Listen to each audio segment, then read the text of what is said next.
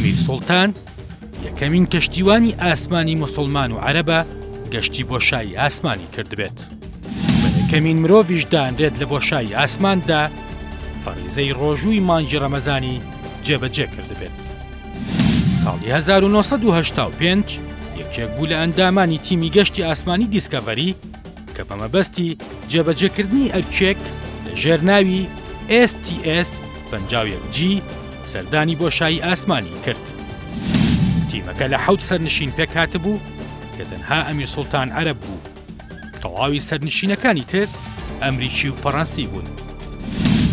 سەرەڕای ناموسڵمانی تەواوی سەرنشینەکانی ئەو گەشتە، بەڵام ئەمیر سوڵتان بەردەوامە بێت لە بەجێگەیاندنی ئەرکە ئاینیەکەی.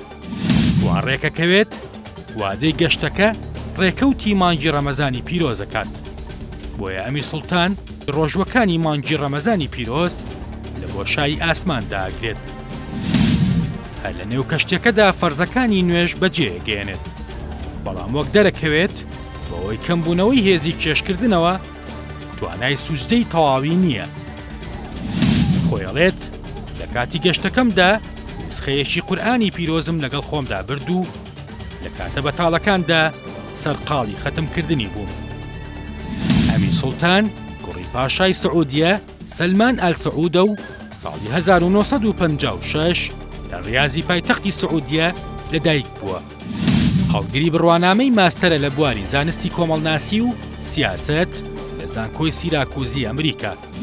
ساڵی دوو هەزار و هەژدە لەلایەن ئەکادیمیای عەرەبی بۆ زانست و تەکنەلۆجیا بڕوانامەی دکتۆرای فەخری پێدراوە. دامەزرێنەر و سەرۆکی ئەنجوومەنی کارگێڕی یانەی فڕۆکەوانی سعودیە بووە. ماوەی دە ساڵ لەنێو هێزی ئاسمانی پاشایەتی سعودیەدا کاری کردووە. تا ساڵی دوو هەزار و هەژدە سەرۆکی دەستەی گشتی گەشتوگوزار و کەلەپوری نیشتیمانی سعودیە بووە. لەلایەن ئاژانسی ناسای ئەمریکاوە خەڵاتی ڕێزلێنانی پێبەخشراوە.